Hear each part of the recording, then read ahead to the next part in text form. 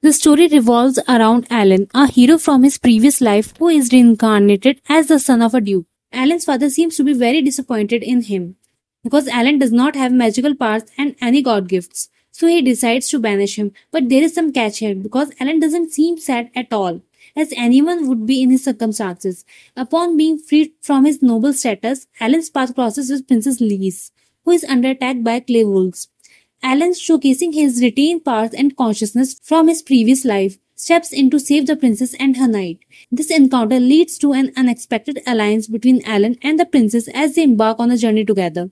During their travel, they encounter Akira, who possesses the rarest gift known as Braver, bestowed upon one individual per generation. As the story goes further, they confront a, they confront a dragon that demand human sacrifices, leading to a confrontation where Allen's powers are showcased in a battle against the dragon.